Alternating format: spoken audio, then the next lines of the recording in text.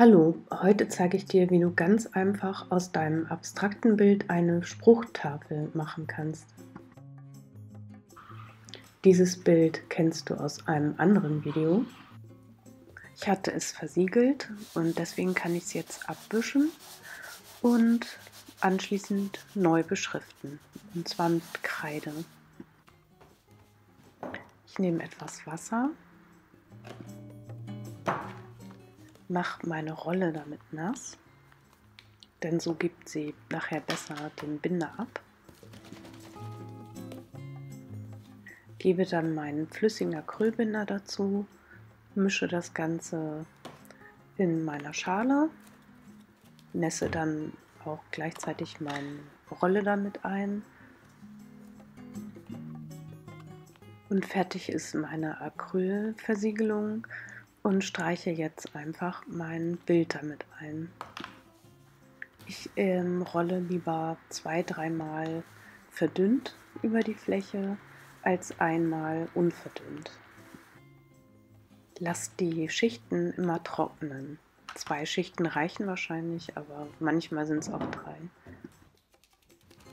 Wenn deine Fläche richtig durchgetrocknet ist, kannst du deine flüssige Kreide nehmen oder auch ein Stück Kreide und deinen Spruch draufschreiben. Es gibt die Kreide auch als äh, Stück oder als Stift. Hauptsache es ist Pastellkreide. Die flüssige Kreide eignet sich tatsächlich am besten, weil die am meisten Pigmente abgibt.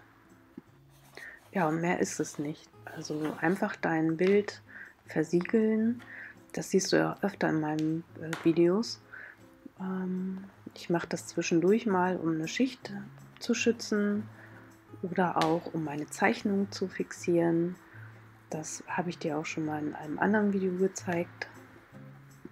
Theoretisch kannst du das auf all deinen äh, Bildern machen, die du gemalt hast, äh, in Acryl. In Öl natürlich auch, weil die sind ohnehin ähm, resistent gegen Pastellkreide oder Wasser. Ähm, es geht ja mehr darum, das Ganze wieder auch abwischen zu können.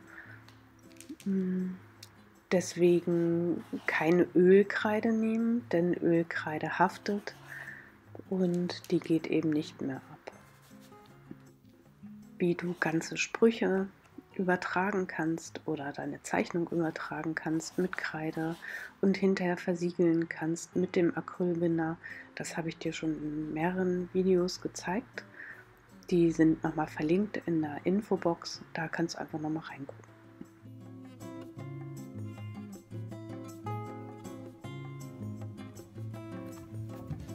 Ja, ist also ganz einfach, dein abstraktes Bild noch ähm, weiter zu gestalten. Ähm, ja, probier es einfach mal aus. Ich würde mich freuen, wenn dir das Video gefallen hat und danke dir fürs Liken. Tschüss!